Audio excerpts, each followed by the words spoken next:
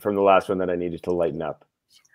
Hi guys, sorry about that. Gail was just telling me what his mom told her to do. Okay, hope everybody had a great weekend. Thank you everyone for tuning in. So this is me and Gil. Both of ours uh, come in a different space when it comes to HR. So Gil has a company, Employee Experience Design. He helps companies with everything to do with the employee experience.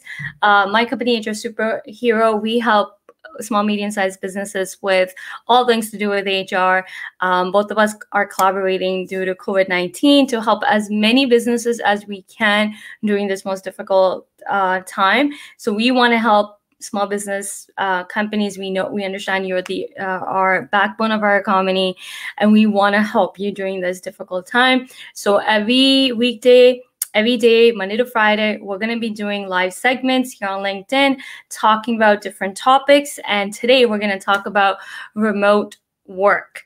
Um, both of us are going to give uh, some tips and advice to business owners or any company. It doesn't have to be small, medium sized companies, but I think this segment uh, will benefit every organization because a lot of organizations are going through um, transition right now, huge transition for some companies going into remote work. Um, so we're going to help give some tips and advice how you can do this very smoothly uh, given the fact that this might be a quick turnover. Some companies did it overnight, but still, we're still going to provide tips. Doesn't matter if you're already implemented it or maybe you're looking to implement it. This segment's actually for all companies to help you transition through this smoothly. Um, so me and Gil are going to talk, but I'll let uh, Gail go first on the employee experience side, given that the companies are moving so fast a lot of things probably will fall through the cracks. So, what can companies do to ensure that they still uphold the employee experience during remote work transition? Uh, so thanks, Gurpreet. Uh, so the first thing I really I want to talk about um, is actually around best practices that we've seen a million and ten articles and ideas about what are the best practices for remote work, and I want organizations and people to be, look at those with a critical eye, because just that something worked for another organization or another person doesn't mean it's going to work for you. So for this remote conversation, I decided to put on a button-down shirt to go with my sweatpants um, because a lot of people are continuously recommending, oh, you have to dress up and you have to dress nicely as if you were going to the office. Uh, I believe you even had a post similar to this that it yes. that doesn't work for everybody. That isn't that isn't necessarily accurate. So that's just one example that when you're looking at best practices or what's worked for other people, look at it with a critical eye because that doesn't mean that that's going to work for you and you need to adopt and adjust these best practices for what's right for your organization. I know for me i've been working at home 18 of my 20 year career and 18 of my 20 year career i've been in sweatpants. And for a lot years? of people pardon? 18 years you've been working home from 18 years uh, yeah, I worked for the wow. first 16, uh, for the first um, 17, 18 years, and now for the last six months of my career, I was just always working from home when I wasn't at a client. Obviously, when I was at a client, so I was dressing nicely. You are then. I didn't know this part. Uh, so you're pretty much.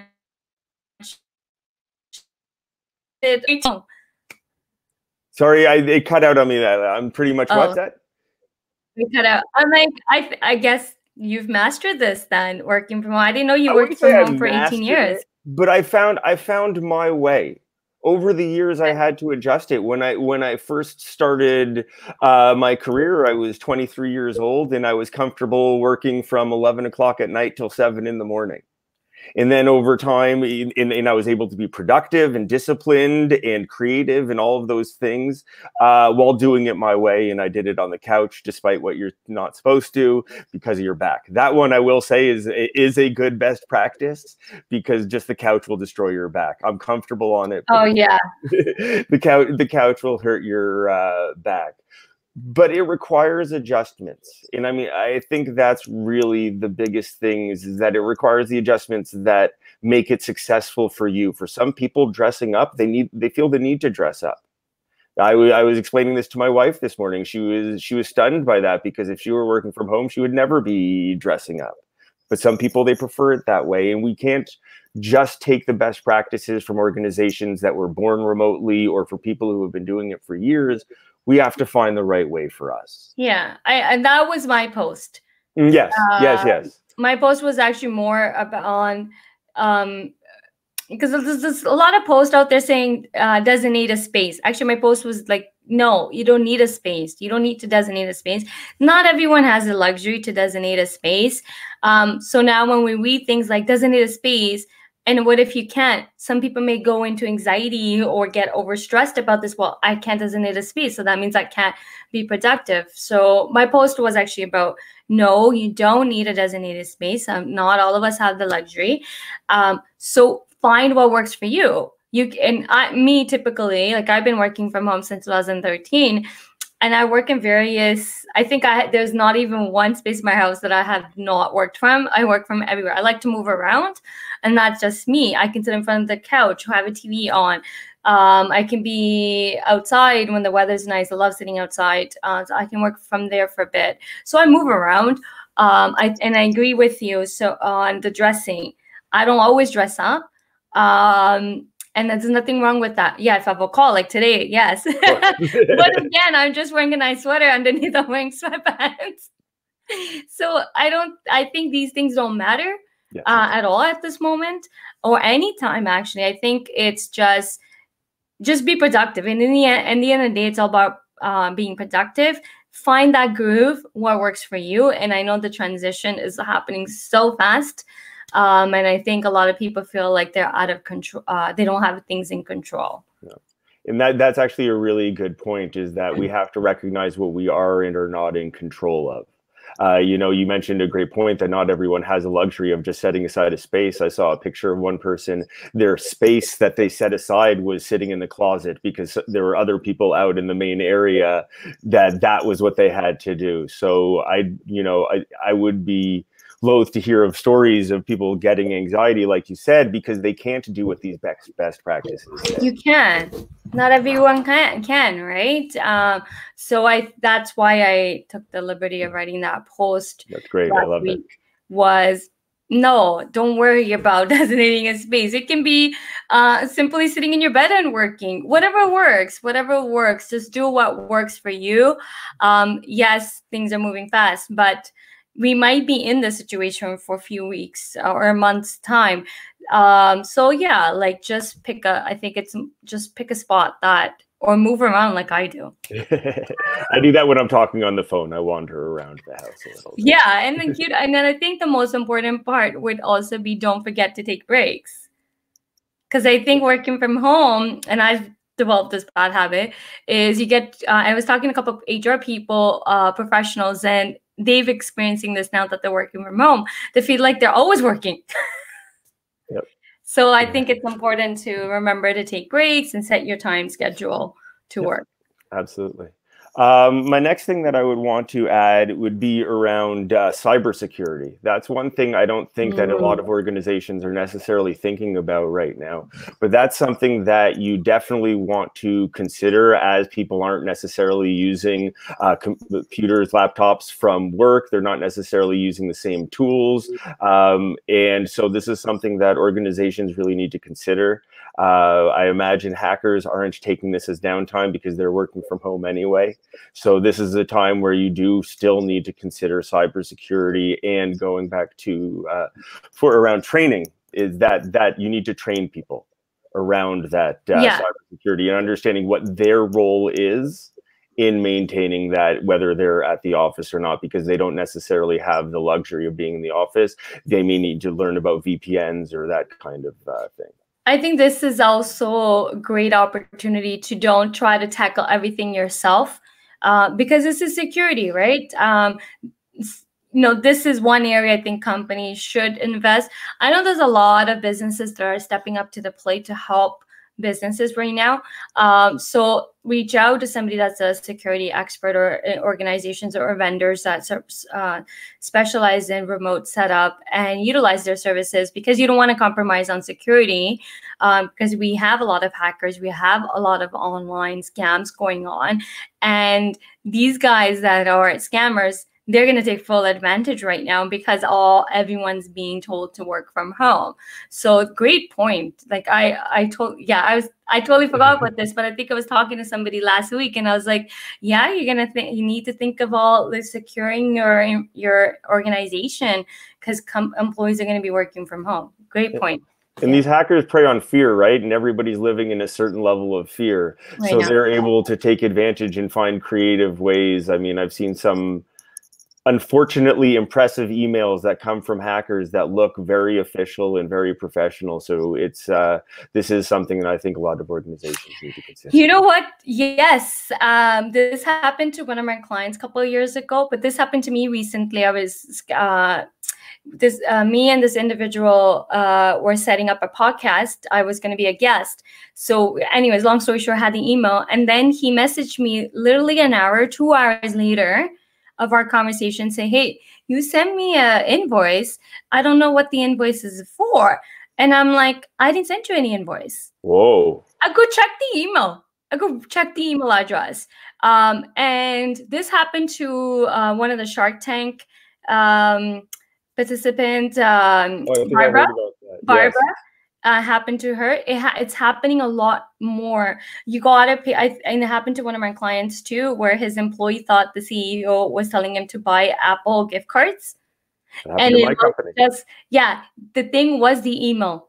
When I looked at the email, we started paying attention. I'm like, yeah, but there has to be something that is off. And when you look at the email, it's always the email. They're off by like a letter or something. So always pay attention to the email or like verify if it's correct. But yes, scams are happening a lot. Yeah. More. And they're just they're just becoming more and more sophisticated, and that's why we have to be uh, wary of that. So that was yeah. sort of why that came into my head. I was figuring as organizations need to move, there's just different uh, IT practices, best practices for organizations to help their uh, data be safe at this point. Yeah, and uh, one other thing I also wanted to talk about is around uh, managers of managers at this point.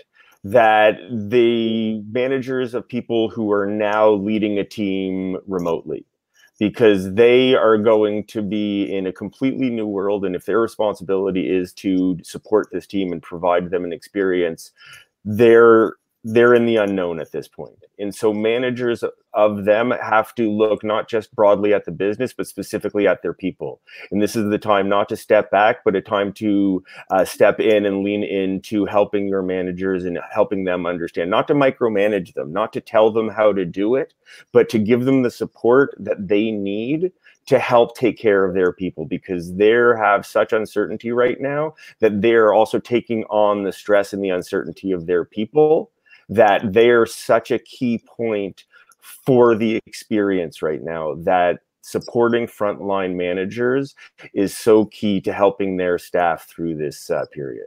Yeah, no, great points. Um, so on the HR side, um, there's a few points that I want to mention because um, I know a lot of companies may not probably will overlook this. And one would be one you touched on was training.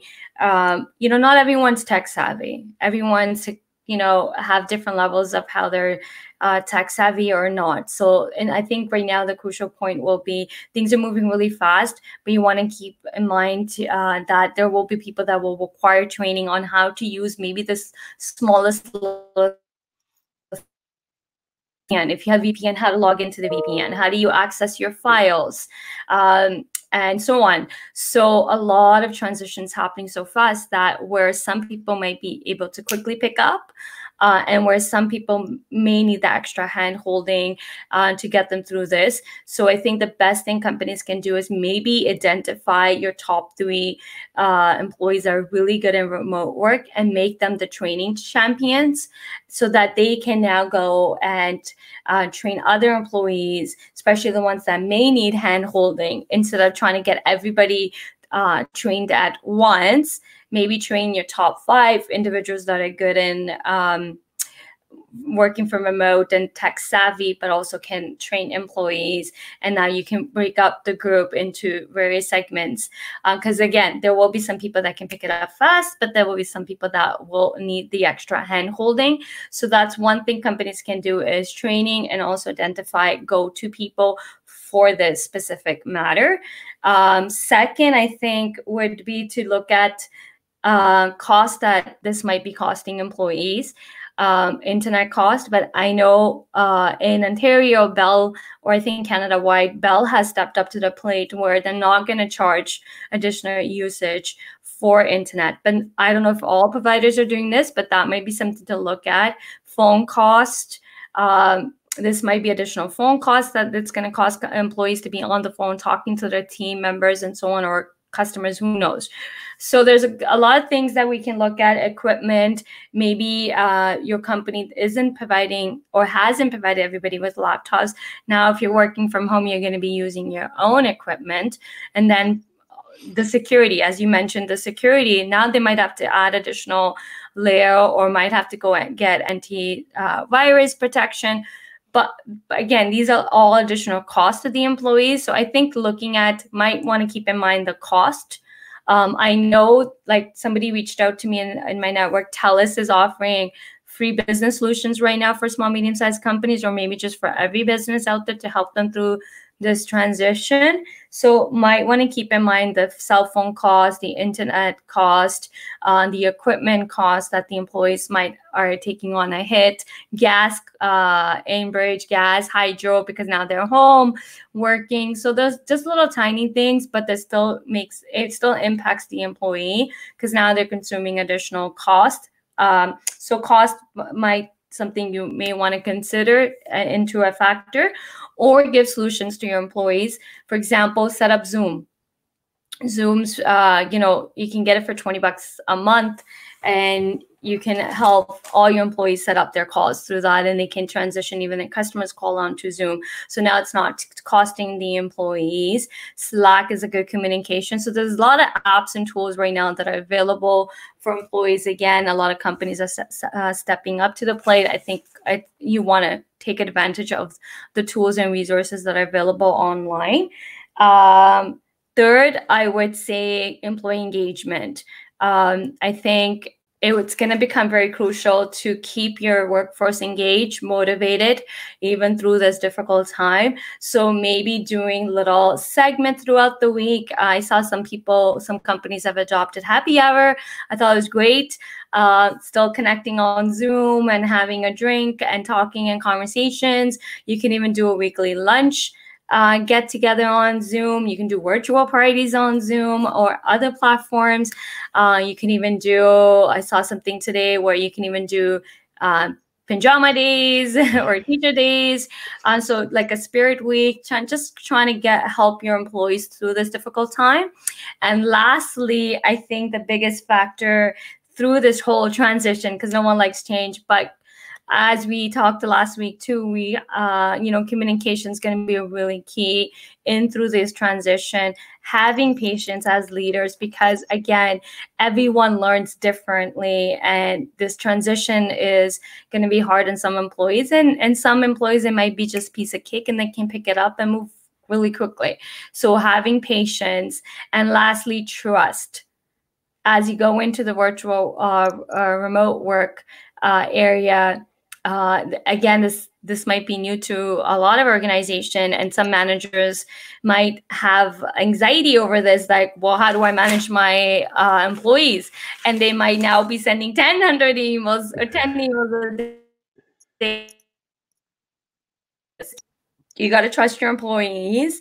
And if you want to have touch in points, which is great to have, like a maybe, you know, once a day you can do a group meeting call for 10 minutes or 20 minutes just to see how employees are doing. Set up maybe once a week or every other day touch up points on one-on-one for 10 minutes uh, to see where individuals on your teams are feeling or because some may want that one-on-one time and they don't feel comfortable talking to uh, all in front of everybody. And i think if you have hr i think hr will play a really critical role right now where i think hr can really champion um, uh, for the employees and really champion in the communication too, wh- where you should be touching point with employees and see how they're feeling and try to um, do this one-on-one. So I think HR, if your organization has HR, I think HR needs to be very visible at this moment where you are touching uh, with in individually with employees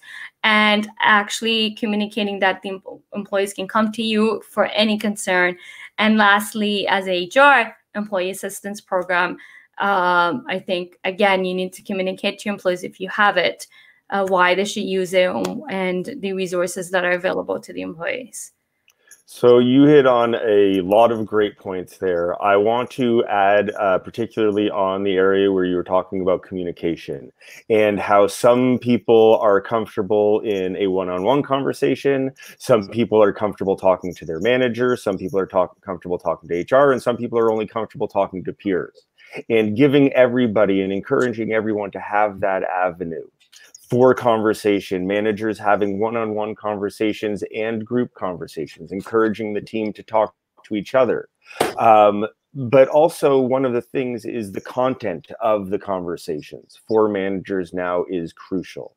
Managers cannot be seen as only focusing on the work and the effort and KPIs they need to also show understanding at this point of what the individual is going through and they need to talk to them because if they talk you can talk to a person five times a day and it can be an amazing positive enriching spirit experience and you and you could talk to somebody once a week and it could be micromanaging and it all yeah. depends on how and what is communicated because if you're communicating human uh, relationships understanding uh, helping the person facilitating the person's success versus looking over their shoulder and checking in on you know how many calls the salesperson has made or anything like that that will come across even the micromanaging will come across even worse now than it normally does yeah. and it's normally pretty bad no i agree with you uh it is i think everyone's being tested right now um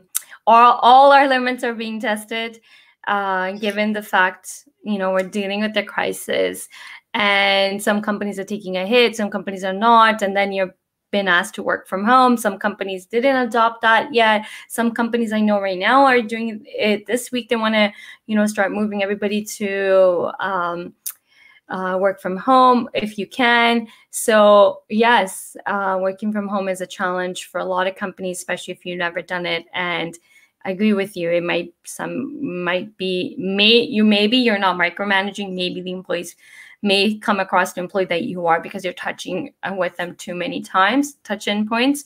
Um, I think it's it's more. I think the there's no fine line here. There's no right or wrong solution here. But you got to be able to. and a little bit harder to do over the virtual world, but the but it's still you can. That's why I think doing Zoom calls or video calls are so important because you can't. I I, I like doing Zoom calls because I also like reading people's body language you can't pick up a lot of things over just voice. I can, but but again, that's the nature of my work. I can, but still, uh, I think video calls help a little bit. And also, if you do have employee assistance program, encourage employees to use it because not everyone's going to feel comfortable coming talking to the managers or HR or anybody at work. So you give them a second outlet. Hey, you know, use this outlet. Uh, and some some people may enjoy working from home. I think there's always a blessing in disguise and everything, but I think everyone should uh, you can adopt this in a positive way and look at it. Well, you get to work in your PJs. You don't have to commute. You don't have to get up and brush your teeth and uh, you know dress up, clothes like that. Whole process can take someone an hour to do. With your men, your kids, everybody in your household. So there's or do yoga and stuff like that. So we can turn it around uh, and say, you know what, look at positive things. Yes, things are moving so fast and we're out of control. Uh, things there's some things that are not in control, but you're in control of yourself. I and you know what that gratitude point I think is so key for everybody small medium business entrepreneurs any large organization somebody who's unemployed all of us right now. I think that gratitude piece because there's so much negativity and there's so much fear and there's so much anxiety going on and there is it's a very stressful time in the world right now taking the time to be grateful for whatever it is that you can be grateful so if it is working from home and not having to you know take the subway and drive for an hour a day or anything like that whatever it is that you can be grateful, try to consciously find those moments and those items to be grateful for. Yeah, yeah. Mm-hmm. Uh, gratitude. I think you just look. I that's my attitude right now is just look at it in a different way and uh, be positive and make the most of the situation. Yes. Yes. We have any questions? Uh, let's see. Not really. No, just one person added a remark, which is great. Happy hour engagement. Jason has been playing this with his uh, team on Slack. I can hear the bonding. It's really cool idea to help help employees uh, get comfortable on Zoom, and I can also hear the bonding, which is really unique. That's excellent. That's yeah. great to hear. Okay. Yeah. I've, Sorry. Go ahead. No, I just say say I've seen a lot of great things going on on LinkedIn around yeah. Zoom and organizations having contests around who has the best and worst workspaces, or having company wide yoga sessions, or different things, or, or having lunch all together, maintaining that uh, tradition. There's there are a lot of great things, and now it's an opportunity for managers who didn't always think that way to adopt some of these ways to try to take care of their people because yeah. like i was saying there's a lot of stress and anxiety going on out there but i would be willing to bet that those of us who have great bosses are feeling less stress and anxiety than those who don't those who are in a worse situation those who are at least still lucky enough to have a job but have a mm-hmm. bad boss there there is extra stress being added in this situation yeah i agree uh, I, I've been seeing that a lot on LinkedIn too, the different posts people are posting about what they're doing with their teens. And last week I was saying this uh, to one of my friends. Um, you know what's going to happen is a lot of companies that were so resistant to moving to remote from work no no we can't do it we no, our organization's not for that. We want all our employees in the office. I think there's going to be a disrupt in the workforce, and where a lot of companies now are being forced to do this. I think they're really going to see the advantage side of doing this. And I think they may end up adopting this for company wide uh, forever. So I think I do feel there's going to be uh, you know some now you're forced to do it but you're also going to see the benefits of this and i think some companies are probably going to opt out to continue doing remote from work. You know I, uh, you save a lot of money too as an organization for overhead cost um, it's easier on the employees and you know work life balance happens. You get to spend some time with your kids. So i think it's a that's why i mean it's a blessing in disguise as well um, on the employees and the company. And i think a lot of companies might just keep this uh, remote to work even after covid-19 yeah, absolutely. I mean, there is a significant competitive advantage to be found when you do this, right? I know a few organizations that have started remote. Not all of them necessarily even live in the same country. Uh, I heard of one person uh, who's already had started doing this prior, but uh, building up remote teams so that tech companies don't have to rely just on talent in Toronto, New York, San Francisco, Austin, any of those areas, but they can find uh, tech talent anywhere because if they're able to do that work remotely, well, then you're finding people that you wouldn't have found otherwise, giving you another significant advantage. Yeah, that, With that all, so true. So true one thing I will find I will find interesting after all of this is seeing how I believe some people will self-select away from ever wanting to do remote work again. Because there are some people right now who thrive on the office environment and love the office environment and are genuinely more productive there yeah. that will find that they they they are very excited at the end of this to get back to an office. And it will be very interesting to see certain people yeah. who had never faced this before to learn yes this is for me and now i'm only looking for remote work or no get me back to an office as quickly as possible. That's so true. Uh yes. So, so it, this remote working from home isn't for everybody. Um and some are gonna learn that and some probably going to learn that they're more productive. You know, when I started working from home, I learned that I was more productive. Yes.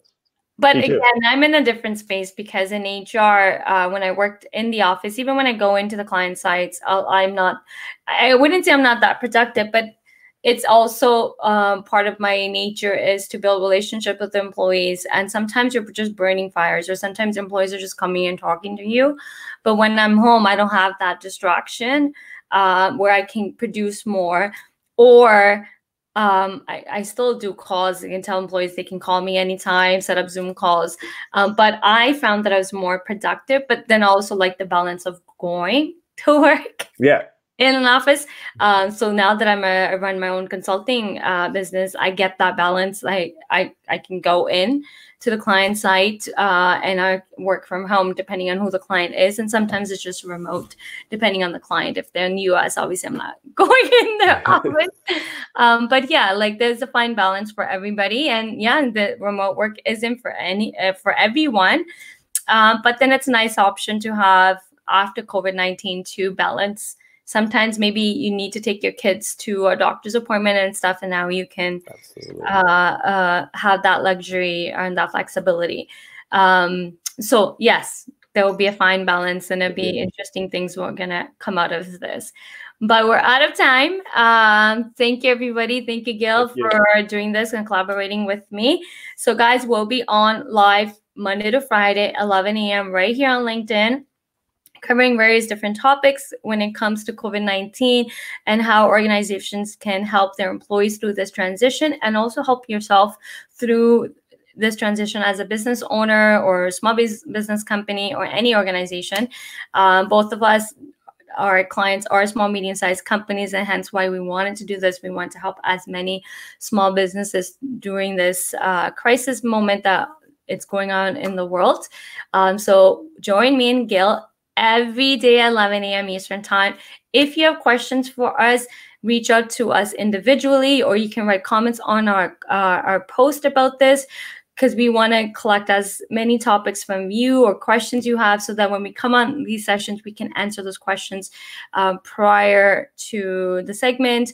Um, so if you have questions or if there's topics you want us to cover, please join us or send it to us and we'll answer them here. And join us uh, every day, Monday to Friday uh, at 11 a.m. So, Gil, do you have anything to add? Nope. thanks everyone. Hope to see you tomorrow. Okay, see you guys. Bye.